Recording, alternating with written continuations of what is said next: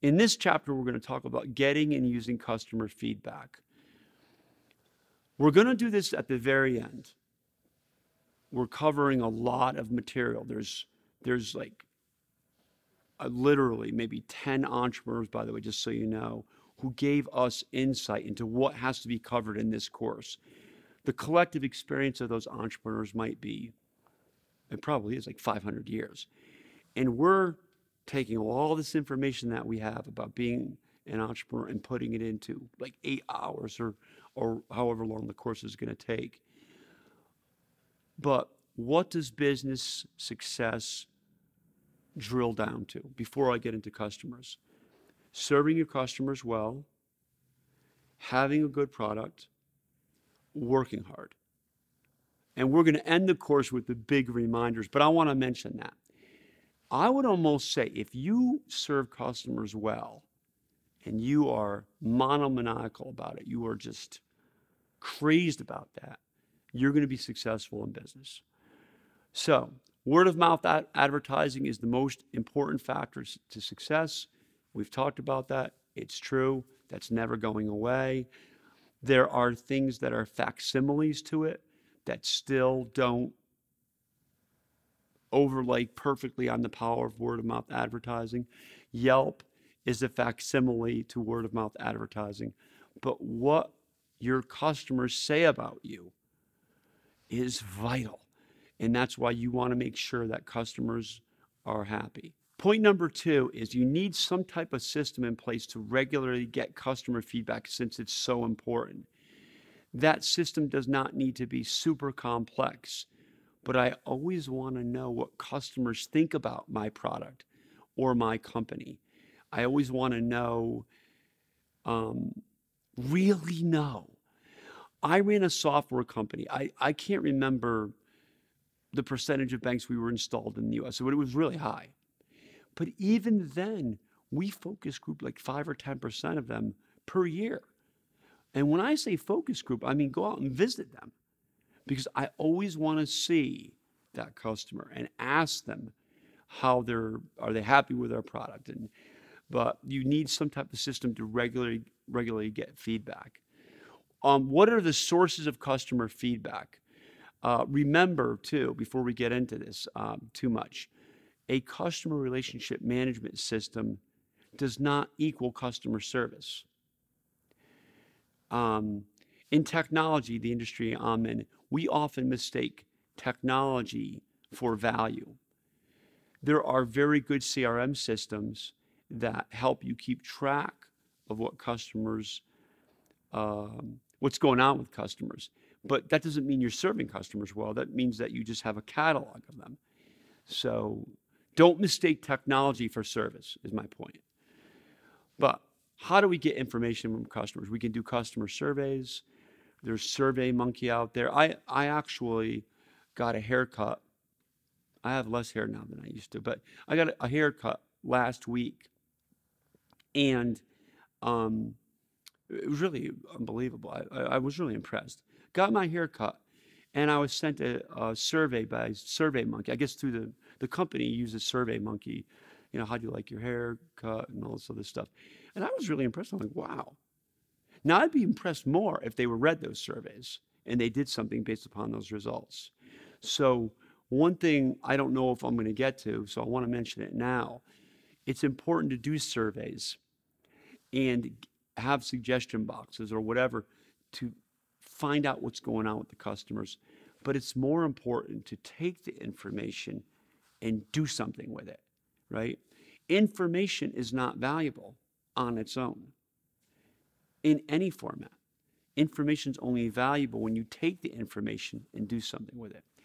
When I ran laundromats, we did suggestion boxes. Amazing the feedback we got in those suggestion boxes in the laundromat chain. Quite literally, I ran those laundromats through suggestion boxes. People would put little suggestions in there and they would tell you things. It's amazing what you would find out. But I would stack them all up, go through every single one. And there were thousands of customers. But you get very rich information from information, you get very rich information and data from blind formats where people can just make a suggestion with impunity and they, they know that you know they're not going to be embarrassed or called out depending upon the business you can call customers on a regular basis um, if you have customers in disparate locations and say hey how are we doing do you like us is there something we can do better um, by the way in every single format here try to avoid rote sort of surveys or rote questions or um, this is a mistake we've even made at the foundation. Um, we made early on was like, did you like the seminar? Yes or no? Well, who's going to say no? You know, that's like this course we're giving. Did you like the course? Yes or no? Well, I mean, it's going to probably be free. But if it's not free, it's going to be super cheap. So you're going to say yes because most people are nice. That's not the right question. The real question is between one and 10, one being the course stunk, and 10 being it was the greatest thing ever, what number would you give us? Right?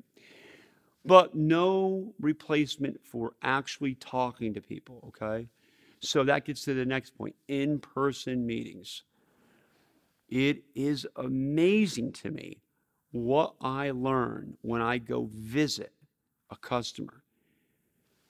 You know, I hate harkening back to my experience, but I do like stories more than me just lecturing at you. I ran a tech company. Tech companies are notoriously bad at service. It would amaze me when I went out to a customer what I would learn about the evils we were per- perpetrating on the, that customer by a lack of service. And you can read body language and you, you learn about their lives. The other thing about in person meetings, very powerful, and I don't mean to be flip, um, totally seriously.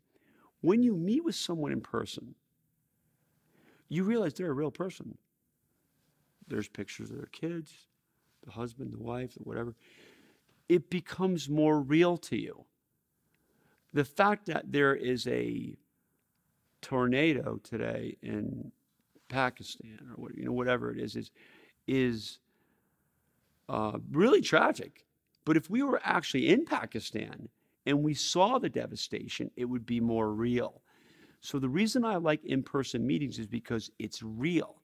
And we used to force our employees to go out and meet the customers, go out and meet the people who are writing the checks. And they learned a lot. And we did that even with developers, who are not the most social people in the world, by the way. Emails, you can send out emails.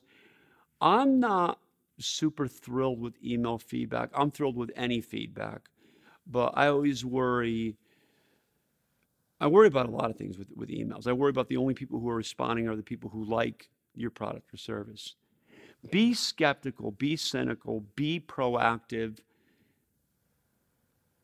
Maniac is too strong. Be, but I'm going to use it, be a maniac and a detective and a researcher about customer feedback. Just assume you're not getting the real story from customers as to how much they like your product or service.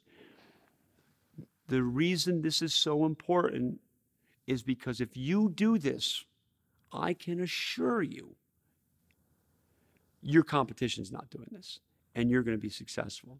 Okay? This whole course should be customer service. If we just got that to you, we're going to be fine.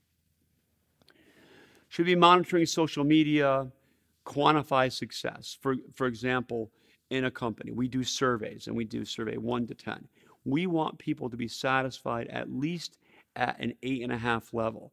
Anybody below that, we're going to call them and we're going to find out why they're not happy. So, in a way, you're quantifying success. You should always have numbers and know where we are. Uh, even though we run a foundation, we're getting more metrics driven, more numbers driven, because that tells you the real story of how happy people are. The importance of 100% satisfaction, great way to end the chapter. What a great way to end the chapter. This is a call, call out to Michael Adams. Good job in putting this point last on the screen, Michael. Um, 100% customer satisfaction. There's not a business leader in the country who will not agree with that. That's a bumper sticker. It's meaningless on its own. What does it really say? They will say that, but do they really believe that? And I cannot tell you how much training that I've had to do around this through the various years of running companies. Every employee, every owner has got to truly believe that. If you don't believe that, do not go into business. I know business owners who have struggled for years. They are never going to be successful. I mean, I don't want to say that because you don't want to hurt anybody's feeling. They're not going to be successful. But they always make slight arguments as to why this customer is unreasonable or that customer is unreasonable. And they're real logical. And they're so. But you know what? In other words, nobody argues with the importance of customer satisfaction. But people argue around the fringes, fringes in the specific example. Well, the customer expected this, and I'm not going to do that. And that the customer paid for this. Why would I do that? No, no, no, no. Your job is to get that customer satisfied, period. Every single one of them. Now, let me, I've got two things to say about this, and I think it's a nice way to end this chapter. First of all, I might be going a little overboard, but I believe there's a moral, moral imperative to that. Meaning, you're out in the market, they're paying you money, even if they, you think they're unreasonable. They paid you money. You owe it to them to make them successful. But here's the second thing I'm going to say. And this, um, this is like one of those things you think about in like in five or ten. It takes five or ten years to sink in, but I it took a while for it to sink in with me. Let's say, because some of you are entrepreneurs and you're listening to this and you're like, well, what about this case? I'm like, no, they're still right. And I'm going to explain to you why. Suppose you get a customer who is completely unreasonable. They're the unreasonable people. They're un- totally unreasonable. They don't want to pay for the service. They don't. Uh, they're calling you all the time and badgering you. And um, my point to that is, who's responsible for that? Still. There's only one answer. There is only one plausible answer. This is mathematical. It's you. Because who picked that customer? Interesting, isn't it? It's amazing how often I had to give that lecture. And I hate the word lecture, but it kind of is. I had to give that lecture. No one put a gun to your head to accept that customer. See what I mean? You accepted that customer into your, your university. Once you do that, they're in your university, once they're in your circle, once they're in that circle, you have to make sure that they are completely satisfied. You are responsible for unreasonable customers. Think about it. It's true and incredibly powerful. You're in control of that. Now, if you have a year contract with an unreasonable person, that doesn't mean you need to keep that customer. But once you invite them into your world, into your university, you and only you are 100% responsible for their satisfaction, no matter what anybody says and no matter how good your arguments are. Do that and you'll be, you'll be successful in business, period.